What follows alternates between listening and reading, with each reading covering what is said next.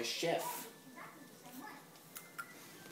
I'm trying to make two minute noodles. Uh, so far it's been taking me around 20 minutes to just get boiling water here. Should would this burn my hand if I pick it up? I don't know. Let's uh I feel I don't feel confident about this. Oh. This will do it. Okay. Fuck, that's hot. Okay, um so what now? This is hard. Alright. Okay, I just got burned severely. Coolly, yeah. So, um, do I just like throw it in there? I don't know what to do. Um, okay, so that's good. It's in there. And, um, I just guess you pour this. I guess it doesn't pour. What? A, oh shit! No, don't. Oh my god. You see, I'm pretty sure this is the first time anybody has like failed at making something that says it works for two minutes. It has three instructions, yet I managed to burn myself around eight times. Alright, so now I'm kind of stuck just leaving it here. Where do I put it? Okay, that's full of crap. Um, how about I just put it here? There you go. Ow. Is that supposed to be happening? It just made the most alarming noise I've ever heard. Whoa. Okay, what's going on? My god. What? What's, what's happening? Should I get closer? How do you... I smell... Oh crap, how do you turn this off? Um, okay, okay, okay, this knob is sideways. So I guess you just make it up. Uh, okay, oh, I think it's about to blow up. Alright. Um. This is, this isn't good. This is not good. Um. Okay, what the hell is that? Can you hear that? This is bad. Okay. Yeah, actually looks pretty good. I'm just going to put it back. And notice how there's like water dripping over around here. Okay, so I'm just going to turn it on a little bit. Alright, let's hope for the best. Alright, this is this is bad. This is not good. Uh, oh, oh no. Okay, so now how I turned that one, I turned it slightly back on again. Turns out this was the wrong one. that turned on this one. So now, which was the one that I put the spoon on. So I kind of burnt the spoon, which adds to more problems that I'm having. Um, so I guess I'm going to turn the right one on now. Like that, that should do the trick. So, in addition to more problems. To clean up the mess that I made, I used a cloth, which I did not know that was replaced with a ShamWow. Um, it was done without my knowings, so I just used it like a regular cloth. I squeezed it. Little did I know that the ShamWow held so much liquid that the liquid would go everywhere, so now I have more to clean up. Lucky me. And I'll set this here. I just got some awesome news. So my brother, he is, I think he's 28. He's been training um, for quite a while now, and he's officially been accepted into the Air Force. So, um, he's not going to be fighting or anything. He's uh, he's going to be doing linguistics, which is basically just uh, like code and that. I think it is. So, which is awesome. So go Australia! Yeah. Um. Also, I thought of something fun that we could do. Um, I know a lot of you are from worldwide. Uh, from worldwide. Yeah, so I thought that you could post in the comments below what country you're patriotic for. So if you're from Canada, I know a lot of you are from Canada, then just go like, woo, Canada, or woo, America, or whatever. um, then you can. Whoa, New York.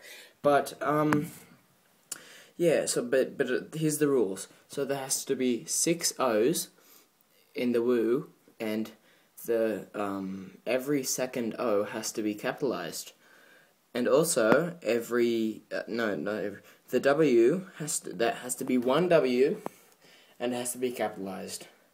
So it should look like something like this. So I've just remembered why I stopped using this for the vlogs, my Kodak ZX1. I think I used it for the first 80 days for vlogging, then I, oops, then I dropped it and I stopped. See, it started, it was good. I bought it for $60 and it worked actually really nicely, except here are the flaws. You see, if I turn it on, then this isn't a white balance issue. Everything is actually this bright. The white balance is always way off, like that. And also, like, you can tell if you hit something like this, it turns off. That's natural, right? But, with this, like it's on, and then like if you put it down, say you want to just put it on like a, a, a desk or something, just put it down, that, that sets it off, like the tiniest little shake. That's weird, eh? Oh, I'm getting a message on the. I'm getting a message on the Twitters, the the Twitters YouTube, the the you twit twitty thing, the twitty twit pick.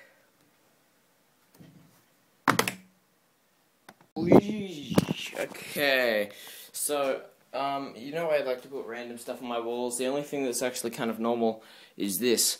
Um, everything else, I've got CDs. Oh, two CDs fell down. That's crap. I've got to replace those. Um, got some cards. This is just completely random crap. But, yeah, uh. Wait, there's some hair on my mouth. But, but what I did now is truly epic. So, get ready for the thrill of a lifetime. Oh, can you see that? I don't know if you can. I'm just going to show you. So this is on my ceiling. I thought that was um a smart thing to do. So if you're wondering how to get nice lighting for your videos and main channel videos, uh, some of you asked me what I use to soften my lights. What I used to use for everything except now was um, I used just a normal piece of uh, white cardboard and then I faced the lights backwards, shined them up so that it would um, use a reflection. It would it would use the reflection as a reflector. You can buy a real reflector for five bucks, but I'm popular, so I just used a white piece of cardboard to just um kind of moved it up. Uh, and I found a new way of soften lighting. Um, so these are the lights that I use. As you see, if you turn them on just uh, just raw, then they leave a very harsh kind of light. They they cast every little shadow that you make and it, it just really doesn't look good. Now this is a bit of a shower curtain. I just cut a bit of shower curtain off, and then if you just put it in front of the light, just uh, leave it over like this. So I just um, shove it over like that. Then look how much better that looks. It's all it's all softened, and that. So this is what it looks like from the front. Just uh, just whack it over, and just compare the um just compare the light. It's a lot brighter without it, but just look at this. So this is the softened version. And look how much harsher this is. It just doesn't look good. So that's what I use to um, soften the lights. Or if you just want a half and half, you can just kind of chuck it over there like that. I just made that up. I've never actually done that before, but it seems to work. Oh, never mind. I actually didn't get any of the lights in there. Nice job, Jack. In fact, the reason why I had the lights on the drum kit, I just felt like showing you the lights, was because I'm about to film an actual drum cover. Got everything set up here. Got the main camera over there. Got the lights as I just demonstrated. Got the camera here to follow the pedals. Um, drum's connected up to the mixer. Then the mixer's connected up to this. So, yeah, let's get going. Yeah. So, after nine attempts of that drum cover, you can see because I got it zoomed out here, see, one, two, three, four, five, six, seven, eight, nine. Um, I pretty much failed, and I am so angry at myself. Mainly because it's, I get, after being on two years of the internet, it's hard to believe, but I am still, like, I'm camera shy. Uh, especially with drums, because I don't think I'm that good, to be honest. I don't know why I'm putting them up. I've got some good reviews. So I'm just putting them up. I don't know why I'm nervous, but I always am, and I just keep screwing up, and I can't get it right. So I think I'm going to take five and just do the do it tomorrow. No, no rush. Anyway, so yeah. Um, do you want to see the video of me getting pissed off after failing? Here we go.